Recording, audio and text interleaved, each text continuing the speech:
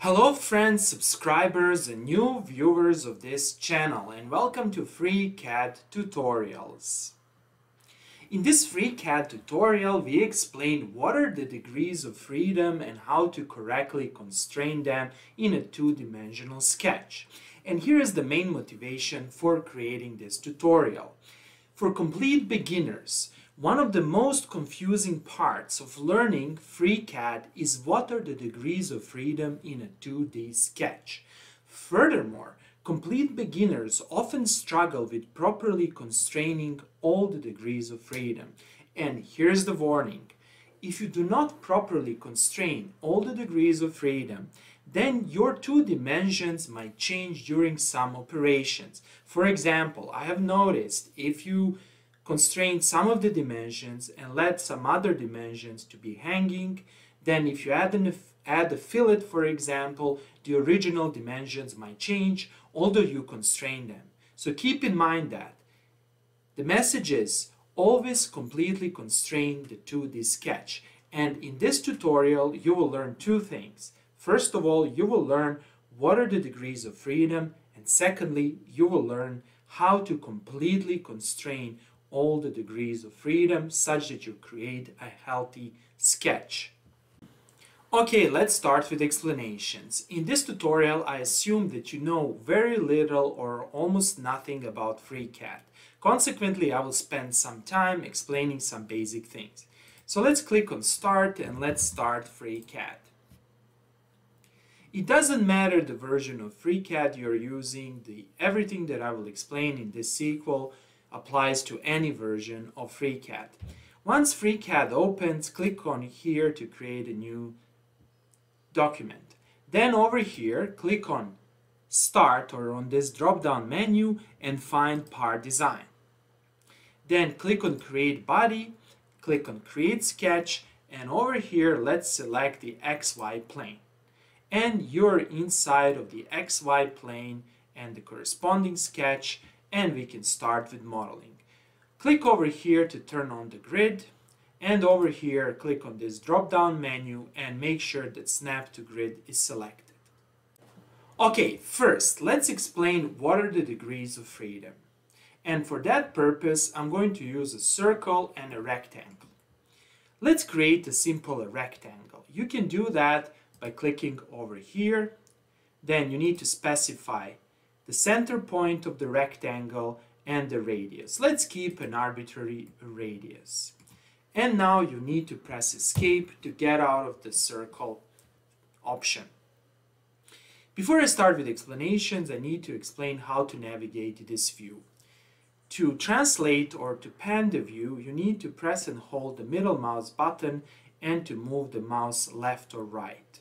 In this way, you will translate or pan the view. To zoom the view, you simply need to scroll forward or rotate forward and backward the middle mouse button. Now, let's analyze this circle and what's written over here. Here it's written three DOFs. DOF stands for degrees of freedom and it's written under constraint. So what does this thing mean? Circle in a plane as a shape has three degrees of freedom. So what are the degrees of freedom?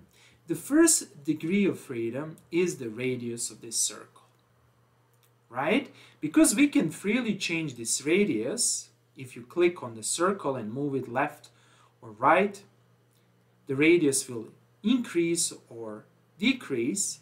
And another degree of freedom is the position of the center point of the circle with respect to the origin. Namely, if I click on this point, I can move my circle in the plane. One degree of freedom is the radius and two degrees of freedom are the actual coordinates of this point with respect to this origin. And consequently, you will see here 2 plus 1 and that's 3 degrees of freedom.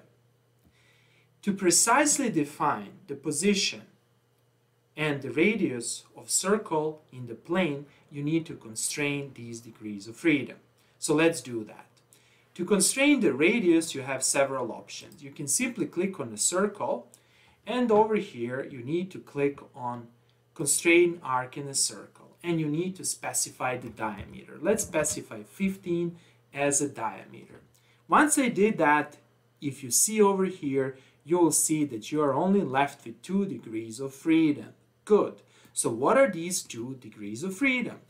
They're the coordinates of this point with respect to this origin. So let's fix these coordinates. Click here, click here, then click over here, constrain vertical distance, and let's specify the y coordinate or the vertical coordinate to be 30. And over here, you will see this, this, this dimension. This means that the vertical distance is being fixed and consequently you only have a single degree of freedom. The next step is to fix the horizontal coordinate of this center point. So again, select this point, select the origin, and click here on constrain horizontal distance, and let's specify over here 40. And bang, here it is. Now, our circle became green, and this means that it's fully constrained. And this is what we want to do. Now, if I try to move it, I cannot move it anywhere. Good. Next, let's explain how to do the same thing for a rectangle. So let's select this circle and let's press delete to erase everything. Let's construct a rectangle. Click over here and click on rectangle and construct a rectangle. Here it is, press escape. So let's see what are the constraints that we see over here we have one, two, three, four, five, six, seven, eight constraints. These constraints define the shape of the rectangle. Namely, the first constraint is the coincidence constraint, meaning that the two points that are the ends of this line and this line should match. Then you have the same coincidence here, coincidence here, and coincidence here. You can see all of them. Then you have this constraint meaning that this is a horizontal line. Then you have this constraint meaning that this is also horizontal line. Then you have another constraint meaning that this is a vertical line and another constraint meaning that this is also vertical line. Good. However we can see that our sketch is under constraint. That is we have four degrees of freedom so what are the four degrees of freedom of a rectangle inside of a plane. Let's analyze it. Well, let's click over here and let's start changing. We can see that we can change the dimension of this line by clicking on this line and moving up and down. Then if we click here, we can change the dimensions of this line, that is the width of our rectangle, so we have two degrees of freedom. The first degree of freedom is the height of the rectangle and the second degree of freedom is the width of our rectangle. However, if we constrain the length and the width of the rectangle, we are still left with two degrees of freedom. So what are these two degrees of freedom? They are the coordinates of any point on our rectangle with respect to origin or with respect to some other point. That is, you need to specify the position of this rectangle. The question is, how do you measure a position? You can measure the position with respect to this point, this point, this point, midline, center points, or anything similar. Okay, so let's start with constraining the dimensions and the degrees of freedom. Click over here, then over here, click on constrain distance, and let's specify the distance to be 60. This will fix the length of this line to fix to 60. Then click over here and again repeat this procedure, constrain distance and let's fix this to 40.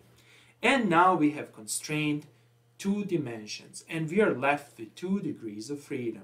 So what are these two degrees of freedom? Now if I start to move my rectangle, I can see that the rectangle shape is fixed, however the position varies. So let's fix the position. To fix the position, you need to select one point, for example, this point, select the origin, and then you just need to specify the horizontal and the vertical constraint. Let's click here and let's specify 35. Now we constrain the x coordinate of this point with respect to this point and we are left with only a single degree of freedom. The single degree of freedom is this vertical distance. So click here, click here, click here, and let's specify this distance to be, for example, 10. And here we are, fully constrained, completely constrained, and everything works nice. Now you cannot move it anywhere and it's completely fixed. Next, let me show you the danger of not constraining your geometry properly. So let's erase this and let's construct a rectangle and let's press escape. Let's fix this length to be, for example, 60 and this length to be, for example, 50. Then, currently we are left with 2 degrees of freedom. And what I will do now, I'm going to add a fillet. To add a fillet, you need to click here. So let's see how to add a fillet. The first trial is to simply select two lines and click here. Uh-uh, this will not work.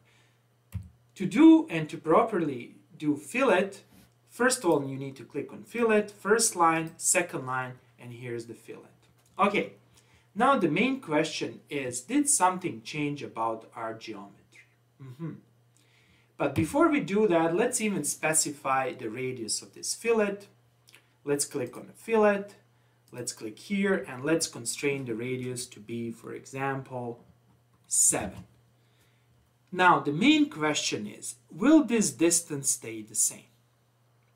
To check the distance between this point and this point, you simply need to click here, then you need to click here and click here and you will see that the distance is not what we originally specified. It's 61.9156. That is, this fillet completely changed the distance and completely changed the dimensions of your sketch. And this is the danger. That's why you need to constrain everything. So the proper way of doing this, now I pressed escape, is to do the following. First of all, erase everything then let's first create a rectangle. Here it is. Let's fix the distances. Deselect this, such as this is red. Click here. Then click on the distance. Let's keep this 70. Then over here, click. Length, let's put 50. Then constrain everything. So over here, let's constrain this point. And let's do click here then do the vertical distance to be 30 then let's do the horizontal distance click here and here click here and put this to be for example 35 and now everything is constrained. The next step is to add the fillet.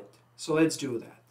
Simply click on fillet click here click here and voila now again did the things change? Let's investigate. They probably have changed. So let's fix them. Click here. Click here to set the fillet radius to be 7 and we want from here to here to have 70. So to do that, click here, click here, then you need to select this option, horizontal distance, and set 70. And now you will have the proper way of filleting. However, make sure that this distance is correct. This distance is still constrained, however, we are still left with 2 degrees of freedom. So again, we need to specify several additional things. We need to specify the distance or the coordinates of this point with respect to this point. So let's select these two points and let's do this. Let's put 19 over here and we are left with one degree of freedom. Click here, click here and again let's specify 35 over here and now our sketch is fully constrained. Okay, that's all for today and thanks for watching.